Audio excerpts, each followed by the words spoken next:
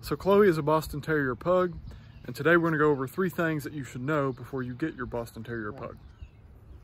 So the first thing that we're going to talk about today uh, with a bug is their tentative to be mouthiness. She uh, that doesn't necessarily mean that she barks a lot. Uh, she's just very like playful with her mouth. She loves to bite on things and uh, she's always got to have something in her mouth, biting, chewing on something. So I would say that a bug is, uh, their mouthiness is probably on a scale of one to five. She's at about a five. What do you got? You got a stick?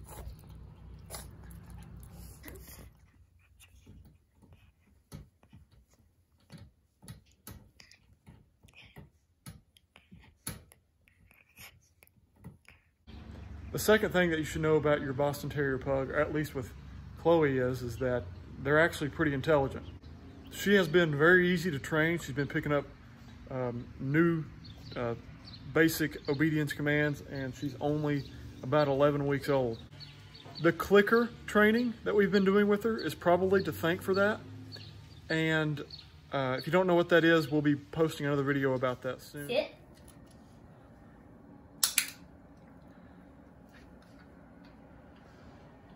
Stay.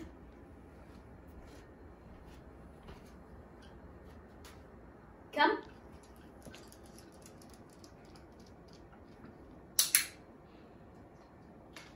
Heel.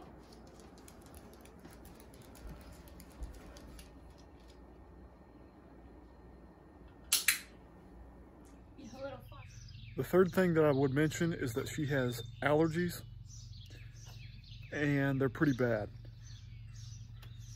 They're so bad that I've actually seen her blow a snot bubble before. I used to have a pug when I was very young. I'm pretty sure they had some allergies, but I don't remember it being this bad, but it's pretty bad for Chloe anyway. And this doesn't have to be outside either. This is inside or outside. She could be eating, she could be drinking water. So we're looking for a few things to, a few different ways to try to calm down her allergies. Um, I've read a couple different things online that we're gonna be trying uh, and I'll keep you updated on that.